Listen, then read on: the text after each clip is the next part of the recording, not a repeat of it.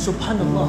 Huwag natin antayin na sabihin natin, Ya Allah, ibalik mo po ang aking ina, ang aking ama. Gagawin ko na ang lahat ng lahat ng aking kakayanan, kakayahan upang maging mabuti sa kanila. Tandaan natin mga kaibigan, mga kapatid. Palalahanan ng ating ating mga sarili na ang pagmamahal pakikitungo sa mga magulang. Ang karapatan ng mga magulang, subhanallah, masyadong binigyang diin ng relihiyong Islam. Inobliga, inutos ni Allah subhanahu wa ta'ala ng higit na pag-obliga at pag-utos ang mabuting pakikitungo sa mga magulang. Ipinagbawal nga ang pagsasabi ng uff. Kapag inutusan ka daw ng iyong mga magulang, huwag mong sabihin yung para bang nagpapakita ka ng hindi pagsunod. Ganun lamang. Ano pa kaya yung subhanallah, murahin mo, pagtaasan mo ng boses na ganito ang kalagay ng ilang mga mga kabataan. Iyan ang ilan. Kung alam lamang natin kung gaano binigyang halaga ng Islam, subhanallah. Sa Quran, laging pinagtatambal ni Allah, pinagsasama. Pagkaraan nyo sambahin si Allah, maging mabuti sa mga magulang. Ilang beses na banggit yan. Pasalamatan nyo si Allah, maging tumanaw ng utang na loob sa mga magulang. Kung inubliga ni Allah subhanahu wa ta'ala, ginawang katungkulan na maging mabuti sa mga magulang na hindi mga Muslim, magiging mga Muslim kung mayroong Muslim na ang kanyang magulang ay hindi Muslim. Ang inutos ng Islam, pakitunguhan mo ng mabuti. Maging mabuti sa kanila, wag lang lang iutos na talikuran ng Islam. Maging mabuti sa kanila. Ay ano pa kaya ang mga magulang natin na mga Muslim? Subhanallah. Ano pa kaya ang ating mga magulang na mga Muslim? Isang lalaki dumating sa Rasulullah. Ya Rasulullah, ano ang pinakamainam na gawain, amal? Sabi niya, as-sala ala waqti, ang pagsasala sa oras ito. Pangalawa, ano po ang susunod? Sabi niya, ang pag, pagiging mabuti, magandang pakikitungo, pagmamahal sa mga magulang. Sabi niya, ano pang susunod? Sabi niya, ang pagjijihad. Mayroon pang isang lalaki, subhanallah, dumating sa Rasulullah. Ya Rasulullah, nangangako ako sa iyo na ako ay sasama sa hijra at gagawa ng mga gawaing kalugod-lugod at pagjijihad kay Allah subhanahu wa ta'ala.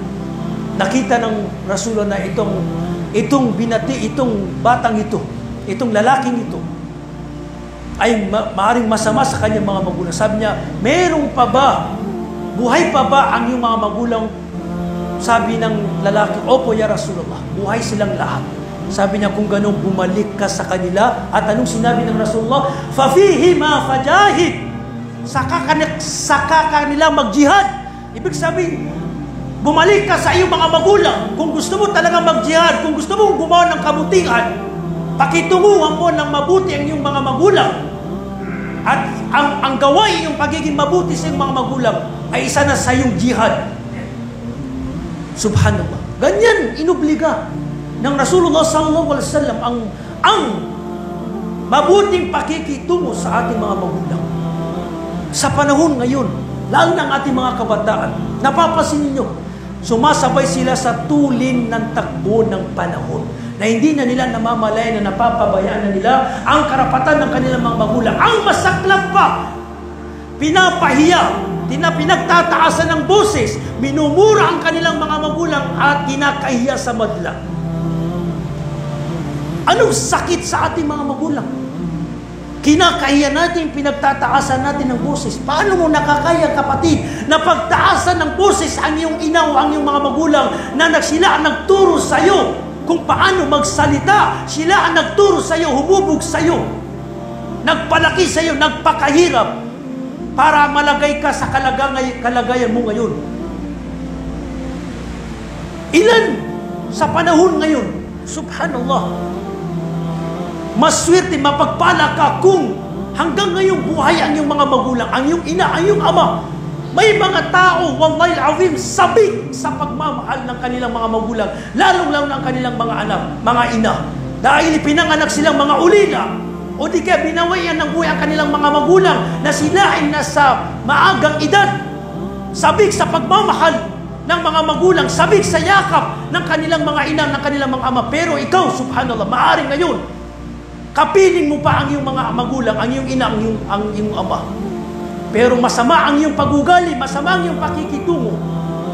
Wallahi al-azim. Wallahi al-azim.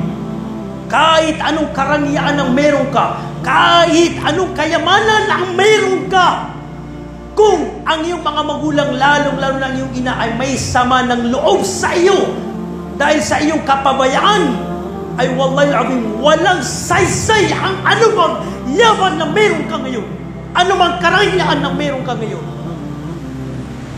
Kung yung pinabayaan ang karapatan ng iyong mga magulang, lalong-lalo ang iyong ina, kung merong sama ng loob, Meron ngayon, subhanallah, ni hindi kinukumusta ang iyang kan kan kanilang mga magulang, ni hindi binibisita, ni hindi tinatawagan.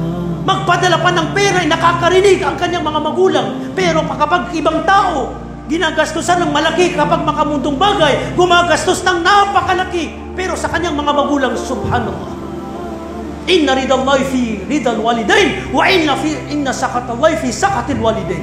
Tunay na ang kaluguran ni Allah ay nasa kaluguran ng mga magulang at ang pagkapuot, galit ni Allah ay nasa galit pagkapuot ng ating mga magulang. Kung galit sa atin, ang mga magulang galit sa atin si Allah subhanahu wa ta'ala. Huwag nating antayin, subhanallah. Huwag natin antayin na sabihin natin, Ya Allah, ibalik mo po ang aking ina, ang aking ama. Gagawin ko na ang lahat ng lahat ng aking kakayanan, kakayahan upang maging mabuti sa kanila. Huwag mo lang antayin ito. Na mawala pa ang iyong magulang at patayin ka ng pagsisisi, konsensya na hindi ka naging mabuti sa iyong mga magulang.